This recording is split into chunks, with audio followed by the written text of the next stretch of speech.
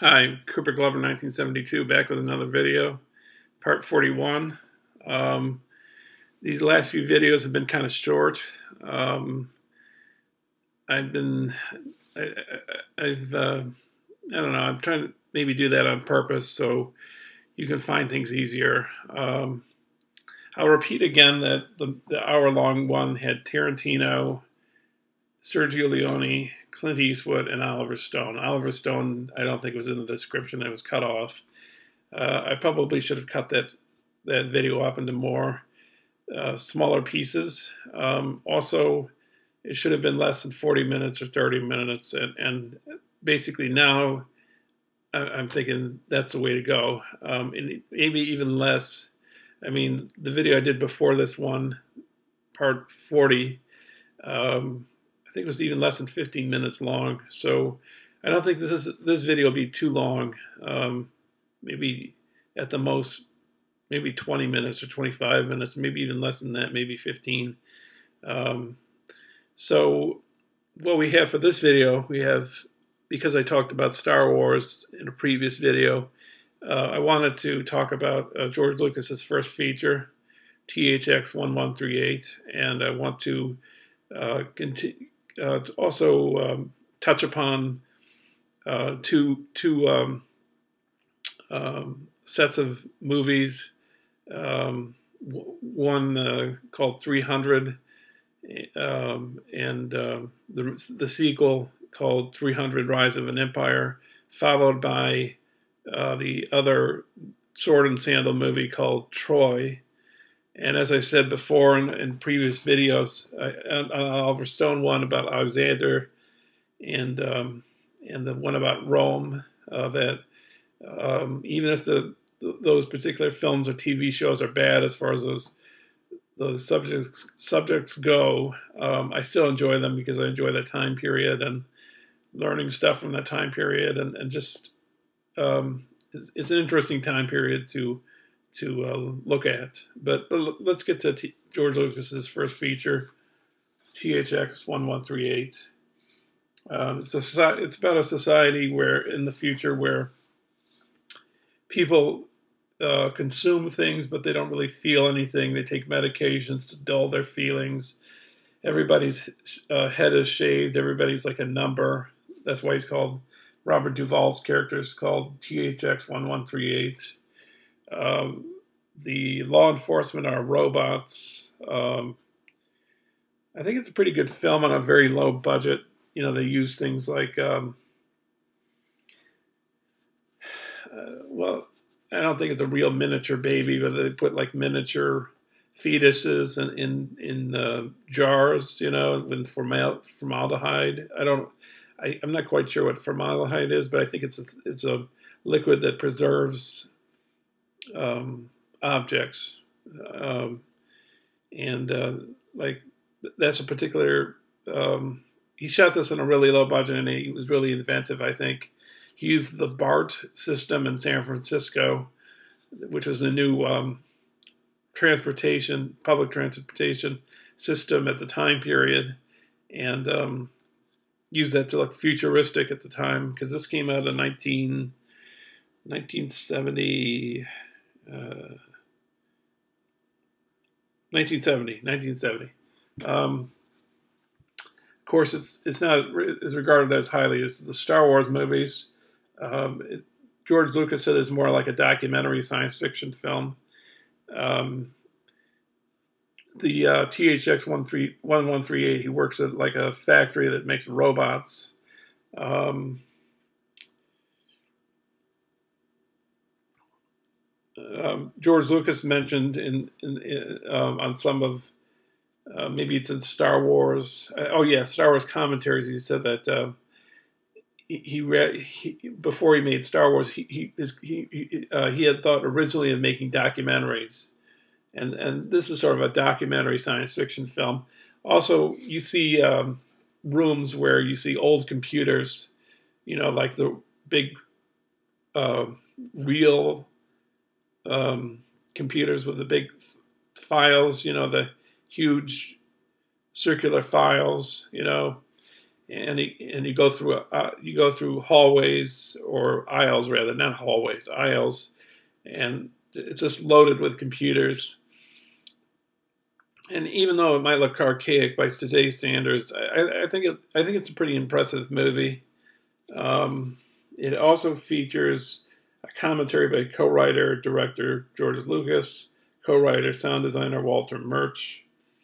I, have met Walter Murch when he was promoting Cold Mountain at Tribeca, the film festival, um, and uh, when when I when we get to the Cold Mountain DVD, it's a film I wasn't too wild about. I didn't really like it that that much at all, but behind the scenes is pretty fascinating. And he had a book that he, he wrote in conjunction with the release of, of Cold Mountain called Behind the Scene, S E E N.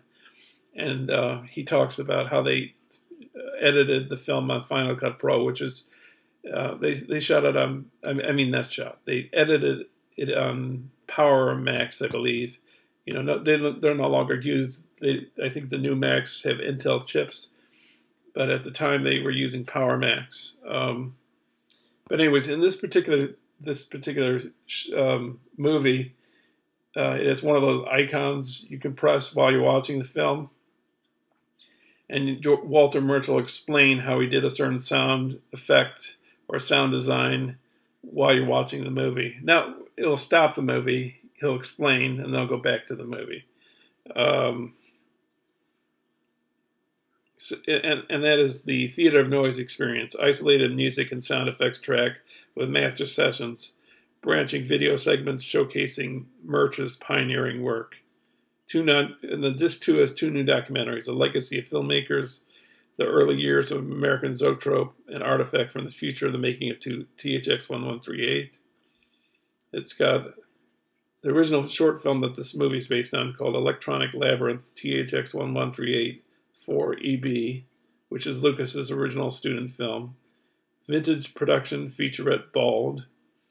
It, that is, you know, that's like, um, well, like one, one of the characters, the woman that that Duvall's character is in love with, she had to shave her head for the film. Original and re-release trailers. So there's there's Lucas right there in Duvall, and the robot policeman. Also, the first mention of the word Wookiee.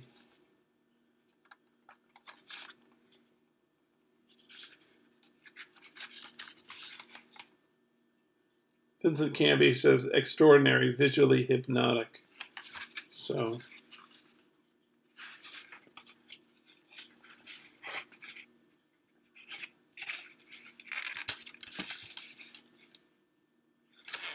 I think there's a picture behind here. Yeah, picture Robert Duvall. And the documentary about American Zoetrope is pretty cool too.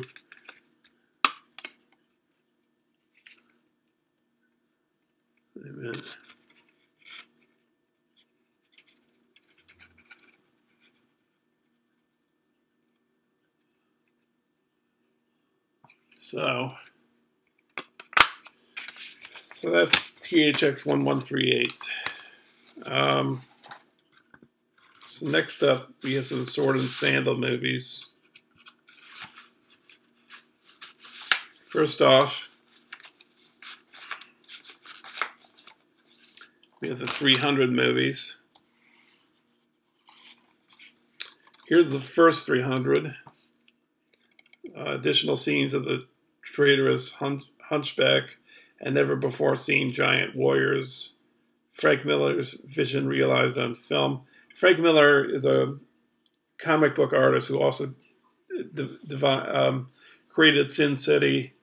He also uh, helped with the pioneering the, pioneering the design of Batman Begins and Dark Knight.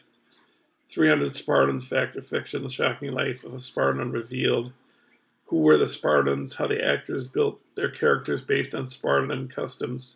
Webisodes go on set with the cast and crew, commentary by director Zack Snyder, and more. Oh, it says Zack Snyder. I, I have um, Watchmen. I might get that in a second um, to, to look at because of the fact that we're we're uh, looking at a Zack Snyder movie. Um, Pete Pete Hammond of Maxim says a spectacular visual feast that is is, as inventive and groundbreaking as the first Matrix. So it's, it's about the 300 Spartans of Greece, uh, and uh, they're fighting the uh, um, Persians, uh, the ancient battle of Thermopylae, and uh, King Leonidas, played by Gerard Butler, fights Xerxes, by, who, who's played by Rodrigo Santoro, and his massive Persian army. Um, and this was done mostly with green screens. And uh, very impressive movie. Pretty violent. If you don't like violent movies, I'm not. But I mean, if you like pretty violent movies, you might like it. But it, it shows like what a society at that time period was like. As I said before in the Rome um, video, life at that, that time period in ancient Greece and ancient Rome was much, much, much harder lifestyle than it is today. You know, um, you didn't have anesthesia and you didn't have modern medicine. Oh, and, and this one, this this is um, I picked this up. I don't know why. Well, I don't know the design of it. I, I like the artwork. It's also the same movie 300. Um, comes with, oops, almost, almost dropped that. Um, let's see. Comes with this book. Oh wait, no. Oh yeah, it is a book, I guess. But it comes with a DVD, two DVDs, and this booklet.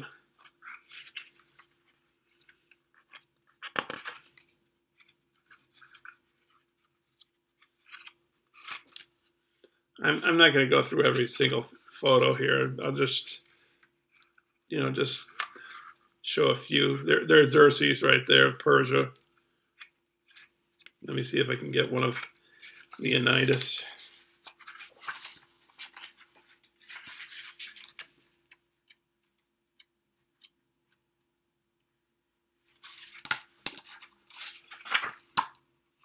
Yeah. Um, Leonidas right there. Maybe I can get one of him in battle.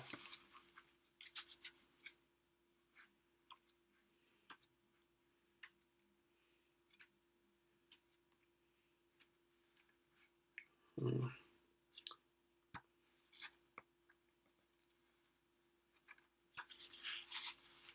I'll just show these two photo uh, pictures here.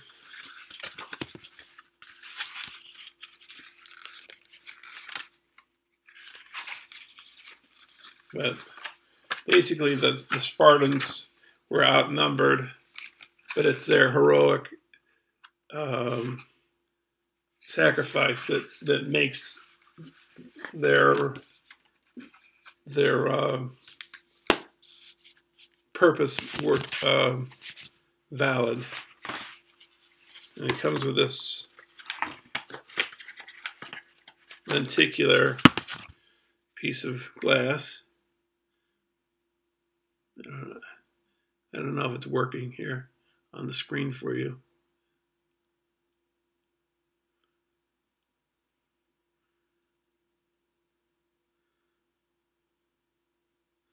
So it's got that. And then it's got these, I guess they're lithographs.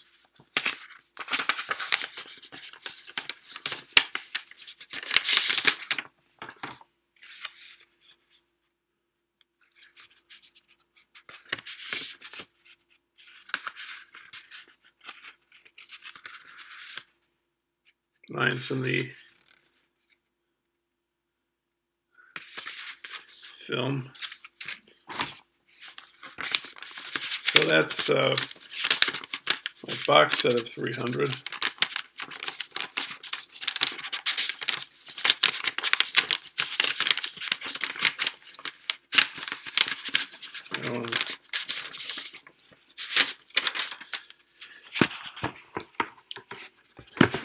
Then I, when the sequel came out, uh, it was on Blu-ray. I bought the Blu-ray.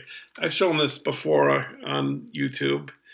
I don't know if I got into too much detail about it, but it's got special features, amped up extras, intensify the power of 300 Rise of an Empire, discover how the historic battles of 300 and 300 Rise of an Empire converge to create Three Days in Hell, bringing the war machine to the water and taking the battle to sea, meet the military geniuses and vengeful queens who changed history and re- real leaders and legends and women warriors witness the physical, mental, and performance challenges of becoming a warrior and much more. So, this is the continuation. Um, Themistocles, Greek general. Um, Xerxes makes his appearance, reappearance from Persia.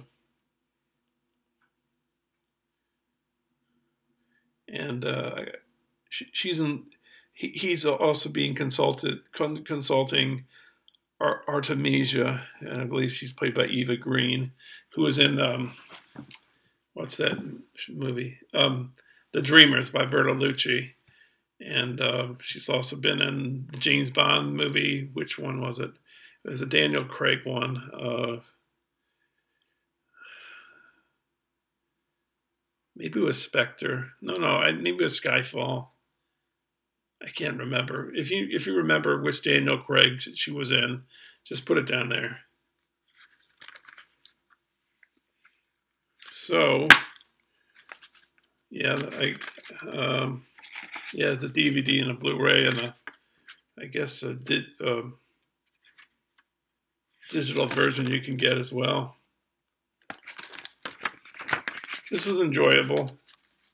I guess it's more, you know, shooting behind green screens before before I go to Troy, I'm going to get the other Zack Snyder directed movie. He'll be right back. Okay, back with the other Zack Snyder movie I own. um, I've heard that I think other uh, editions of this movie have more stuff on them, more more special features. Maybe the Blu-ray. Uh, I just have the DVD. It's just the movie itself. Uh, that's Watchmen. Um, I enjoy this movie. I, I, think it's a fun movie to watch. Um, it's based on a graphic novel, and um, it takes place, um, I think, the early 80s, maybe, or late 70s, early 80s, I believe.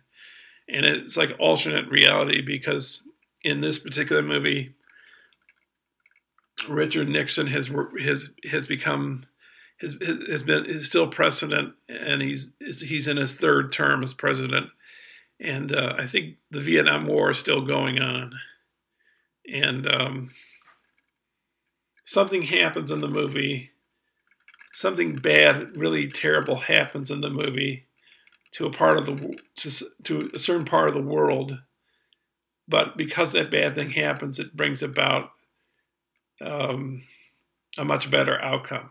So, and, and the characters are very interesting, and, and uh, it's it's a violent movie, but it's a well, I don't know. I, I, shouldn't say. I don't care if it's violent or non-violent. I, I, what I care about is it's a good story. You know, if it's a good acting, if it's if it's done well, that, that's what I care about. I um, I just you know some of some people just don't like violent movies, but but you know this is this is a, fairly violent, but but very good and very visually uh, uh, visual visually um, um, exhilarating experience, you know. So, anyways, uh, this, you know, it's just about these superheroes, and um,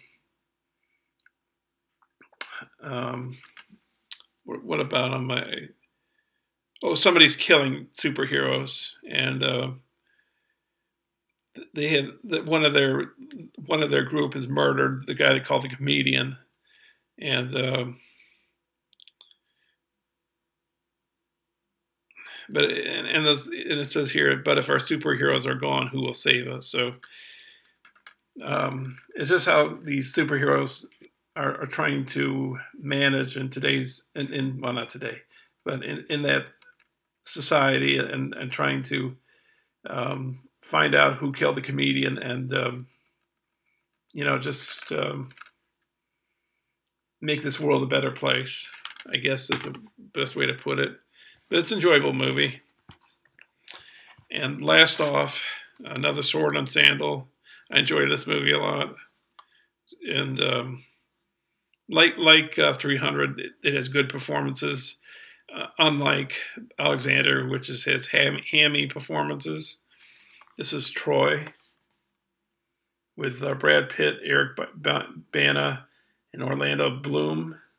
It also has uh, Diane Kruger, Brian Cox, uh, Sean Bean, Brendan Gleeson, Peter O'Toole. It's got music by James Horner. Um, screenplay by David Benioff. Produced by Wolfgang Petersen, who did who directed um, Das Boot. Um, oh, and it's also directed by him. Yes. So, in, in the bonus materials is in the thick of the battle, analyzes the film's thrilling action sequences from ruins to reality, explores the history behind the production design. Troy and Effects Odyssey reveals their secrets behind the miraculous special effects. And then it has the Gallery of the Gods, 3, 3D animated guide to Greek myths, and a theatrical trailer. So the Gallery of the Gods, it's um, use a remote control and you find out what certain gods uh, bestowed upon human beings. Um, anyways, um, and it's kind of and it's interesting, and this is about uh, the Trojans who bring the Trojan horse into uh, what what city is this called? Uh, wait a minute, it's Troy. Wait, wait a minute. Um, trying to remember which side is which. Oh wait, the Trojans are are behind, and uh, uh, Brad Pitt and Agamemnon are. Brad Pitt is um, Achilles, uh, and Orlando Bloom is Paris. Uh, I think he's Paris, Orlando Bloom. But um, Achilles and his followers they, they bring in the Trojan horse into Troy to to give a sneak attack. You know the old, you know they they hide the soldiers in the horse and they give it as a gift to the Trojans and um, fighting ensues after they get inside the city of Troy. Um, and there's great action in this movie. Um, so again, violent, but um, I think it fits uh, um, the story. And um, I mean, uh, at that time period in, in history, I mean, it was a very violent time, and that was just the way things went, you know. Um, so, in, in this film, you'll find out why your Achilles heel is called your Achilles heel. It's like a weak spot, you know. And um, Achilles is played by Brad Pitt. So that wraps the video up. Um, I'm, I'm not sure what I'm going to do next. I, I, recorded four videos tonight. Um, I'm going to uh, probably put those on YouTube on uh, tomorrow on Tuesday. Um, and um, I'll deliberate whether I'll probably do some more videos tomorrow on Tuesday. Um, I'm trying. I'm trying. I guess I'm trying to plow through this. I, I probably should, you know, take it. Well, I, I mean, like um, Black Sunday's on MUBI for another like nine days or eight days or something. I'm gonna watch it, but I just um, I'm also trying to get through this collection. Um, and um, anyways, I'm I'm babbling on. Um, if you if you want to speaking of Rome and, and Troy and 300, if you want to look at another um, movie that touches upon the ancient uh, Roman and Greek world, um, ch- check out my Tarantino, Eastwood, Leone, and Oliver Stone video because if if you want to fast forward to, to the end of the video, um, you'll see. Uh, I think it's the last movie I show of Oliver Stone's, and who's the last director I show in that video. I think um, I think it's Alexander is the last one I show, and um, anyways, um, or is it not? I'm not sure. No, I think it is. I think it's the last one I show. Um, I don't think it's World Trade Center. I think World Trade Center comes before that. But um, I show two different versions of of, of uh, Alexander, which is a film I thought I found to be filled with hammy acting, but but still a enjoyable watch. So uh, take take a look at that if you want. And and I'm sorry that I made that uh, video too long. I should have cut that up more. Anyways, um, we'll see you soon, and thanks for watching.